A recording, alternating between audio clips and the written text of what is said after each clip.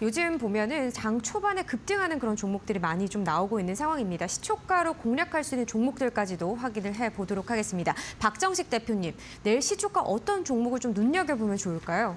네, 최근에 중국 봉쇄 조치까지도 좀 가중이 되고 있는 상황이고요. 거기다가 가덕도 신공항 이슈까지도 일정 부분 나오니까 어, 저는 아무래도 어, 물류 관련주 인터지스에 좀 관심이 가고 있습니다. 음.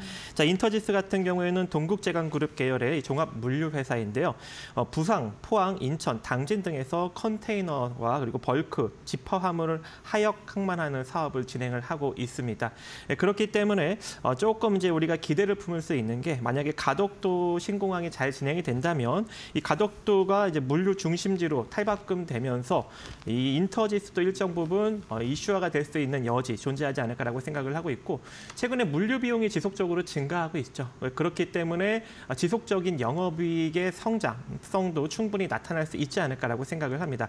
이미 이제 2021년에 영업이익이 사상 최대치로 나오고 있는 인터지스이기 때문에 이대로 실적이 크게 성장을 하게 된다면 한 올해 또는 내년부터 본격적인 상승력 추가적으로 나올 수 있지 않을까라고 기대를 해볼 수 있을 것 같고 지금도 자산 가치 대비 상당히 이제 저평가돼 있기 때문에 적정 주가는 한 5,500원 이상이다라고 바라보고 있습니다. 하지만 현재 주가는 3,500원대에서 머물러 있기 때문에 지금 현재 이 3,500원대 이하로 여러분들이 분할 매수 관점 어, 가져가시면 좋을 것 같고요. 어, 단기적 관점으로 바라보실 때는 손절 라인 3,300원 정도 잡고 대응하시기 바라겠고 목표가는 단기적 상승력 가격이 나오면 4천 원 정도 자리는 충분히 터치할 수 있다라고 판단이 됩니다. 하지만 어, 장기적인 관점으로 보았을 때는 5,500원 이상 바라보시기 바라, 어, 바라겠습니다.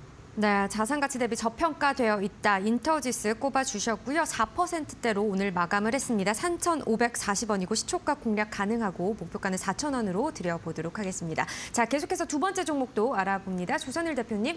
네, 두 번째 종목은 대산 가지고 나왔습니다. 관심을 가져야 되는 이유가 여러 가지 있습니다만 앞으로 어, 작년 같은 경우에는 한 1년, 2년 이상 성장주들이 급등을 하면서 삼성전자를 비롯해서 많은 성장주들이 급등을 하고 난 이후에 외국인들이 매도하면서 20조 원 이상 빠져나갔는데 많은 분들이 외국인이 매도 이후에 우리나라 증시가 많이 조정이 있을 것이다라고 예상했지만 외국인들이 그 돈을에다가 40조 원을 더 보태서 우리나라의 국채를 매수했습니다. 전반적으로 단기, 중장기 더 좋다는 얘기죠.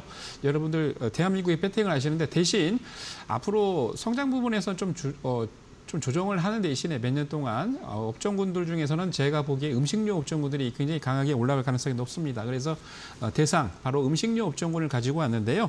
이 회사는 인도네시아 파묘 수출 금지에 대한 수혜를 받는 업종군으로 단기에는 이슈가 되고 앞으로 중장기 성장성도 좋습니다.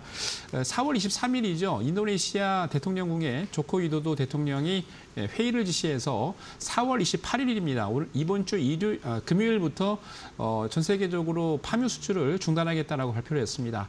인도네시아가 파묘 수출을 중단하는 게 중요한 이유가 인도네시아가 바로 전 세계 50% 이상 글로벌 어, 생산을 가지고 있는 그런 국가이기 때문인데요. 예, 대상은 성경 지명이 있었습니다. 벌써 이미 오래전부터 어, 인도네시아의 파뮤, 파뮤 농장을 어, 인수를 하거나 또는 파뮤 농장을 만들었죠. 전체적으로 어, 매출이 안 되지만 어, 수출이 안 되지만 수출이 안 되면서 자체적으로 내에서 생산하면서 어, 그 제품을 만들어서 수출은 가능하기 때문에 도움이 되는데 파묘가 굉장히 중요한 이유가 여러분들이 사용하고 계시는 식용유 거의 대부분 그리고 심지어 화장품, 세제에도 들어가고요. 이날 4월 23일 날 발표 이후에 미국 시카고 증권거래소에서 하루 만에 무려 콩기름 가격만 4.5% 급등했는데 앞으로 관련 제품군들이 굉장히 급등할 가능성이 높습니다. 이에 대한 어, 수혜를 받고 있는데 특히나 말씀드린 것처럼 어, 4월 28일부터 이번 주 금요일부터 시작이 되면 이에 대한 수혜가 단기적으로 예상이 되고요. 네, 중장기적으로는 매출과 영업이익도 대상이 관심을 좀 가지시면서 가시면 좋을 것 같습니다. 오늘 또 약간 조정을 보이고 있습니다만 매수 가격은 한 2만 5천 원 정도 매수 좋고요. 네, 목표 가격은 단기적으로 어, 직전 고점이었던 3만 원 좋습니다. 그리고 중장기적으로 보시는 분들은 네, 절반 정도 매도하시고 중장기적인 관점 포지션 갖고 가시면 좋을 것 같고요. 손절 라인은 2만 1천 원 제시해 드리겠습니다. 네, 파묘 관련 수혜주로 꼽아주셨습니다. 오늘장 샘표도 이 거래일 연속으로 또 상한가로 올라갔죠. 대상도 역시 관련돼서 꼽아주셨고요. 오늘은 0.78%대 낙폭을 기록했습니다만 내일 시초가 공략 가능하다 정리를 해주셨습니다. 목표가 3만 원으로 드려보겠습니다. 오늘 말씀 여기까지 듣겠습니다. 고맙습니다.